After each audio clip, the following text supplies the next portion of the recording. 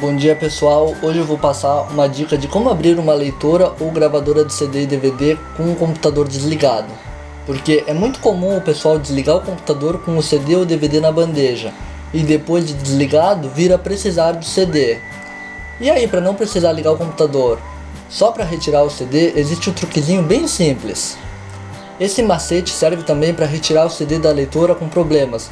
Leitoras que você aperta o botão e ele liga o LED, mas não abre, ou você aperta o botão e ele nem o LED liga e não abre, enfim. Bom, é bem simples. Em primeiro lugar, você vai precisar de um clipe, ou alfinete, ou agulha. Não aconselho a usar palito de dente, pois pode quebrar dentro da leitora. Uh, primeiro você abre o clipe, né? Tenta deixar ele um pouquinho reto.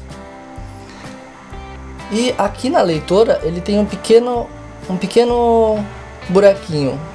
Você coloca o clipe e aperta. E a leitura abre. E você já pode retirar o seu CD.